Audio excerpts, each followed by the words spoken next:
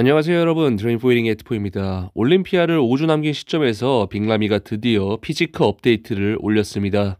지난 시간에서 소개해드렸다시피 빅라미는 현재 로니 콜먼의 전 코치였던 체드 니클스와 함께하고 있습니다. 체드 니클스는 훌륭한 선수들을 많이 배출하지만서도 악명 높은 코치로도 굉장히 유명합니다. 물론 완벽하지 않은 조명에서 다이어트가 다 되지 않은 채 찍은 영상이지만 빅라미의 대퇴 사두 근육의 분리도가 조금은 부족해 보이지 않나 하는 생각도 듭니다. 그 전까지 복근을 crunching하면서 1번 front double biceps 포즈를 취했다면 이번엔 완전히 복근을 열어서 포즈를 취하고 있는데요.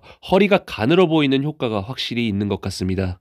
빅라미는 현존하는 프로 영양 코치들과 모두 다 함께 해봤다고 해도 과언이 아닐 정도로 다양한 코치들과 함께하였습니다. 다양한 전략들을 진행해본 빅라미지만 이번 체드 니클스와는 사이즈를 절대 줄이지 않고 90년대의 다이어트를 그대로 이끌어오는 것이 그의 목표라고 합니다.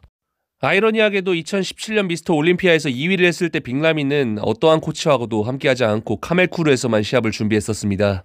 하지만 이어지는 2018년 미스터 올림피아에서 6위란 저조한 성적을 기록한 뒤로는 카멜쿠르를 떠난 채로 독립한 빅라미였습니다. 독립한 빅라미가 최초로 찾은 코치가 체드 니클스라는 사실에 굉장히 깜짝 놀라지 않을 수가 없었습니다. 올 상반기에 열렸던 아놀드 클래식에서 윌리엄 보낫과 덱스 잭슨을 이기지 못한 것이 빅라미에겐 조금 아쉽게 작용할 수도 있지만 미스터 올림피아에서 충분히 반전을 꾀할 수도 있을 것이라고 생각합니다. 많은 사람들이 빅라미의 문제점은 사이즈가 아니라 다이어트의 강도를 top3 선수들만큼 끌어올리지 못하는 데도 있다고 하는데요. 개인적으로 back double biceps 포즈에서도 그의 단점이 드러날 수 있다고 생각합니다. 올림피아 top급의 선수들은 등 안쪽과 하단부까지도 등 근육이 가득 차 있는 모습을 보이는 반면 빅라미는 그러한 부분들이 조금 아쉽지 않나 싶습니다.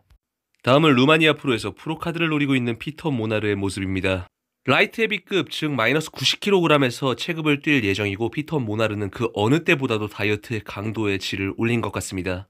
그동안 심미성과 근육의 shape으로 승부를 보았던 피터 모나르이지만 IFBB 프로리그가 원하는 수준의 다이어트의 강도를 끌어올린 것 같습니다. 루마니아 프로에서 바로 프로카드를 획득한다면 과연 212 division이나 open division에 도전할 의사가 있는지도 굉장히 궁금한 시점인 것 같습니다. 드림포이링의 트포였습니다. 루마니아 프로 결과 리뷰와 함께 찾아오도록 하겠습니다. 항상 감사합니다.